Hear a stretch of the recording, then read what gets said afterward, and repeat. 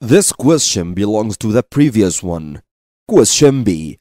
The deflection of a beam of electrons by an electric field is used in cathode ray oscilloscopes. What makes the electron beam move backwards and forwards across the screen?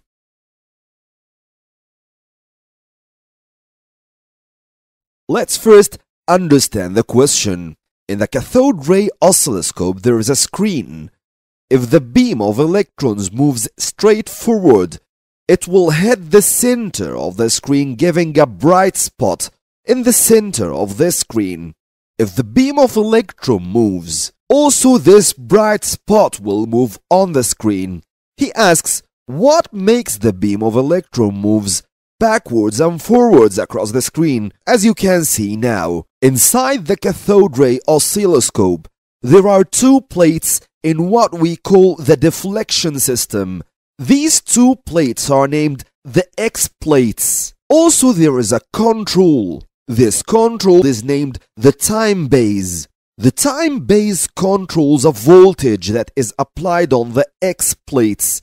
This voltage applied by the time base is what makes the beam move left and right.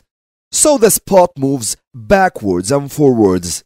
So simply the answer will be a voltage is applied to the X plate that causes the beam to deflect left and right across the screen. This voltage is controlled by the time base control. Let's see the mark scheme. The mark scheme gives one mark for time base applied to X plate, stated or described. You can say this or you can describe what happens. This question is for one mark.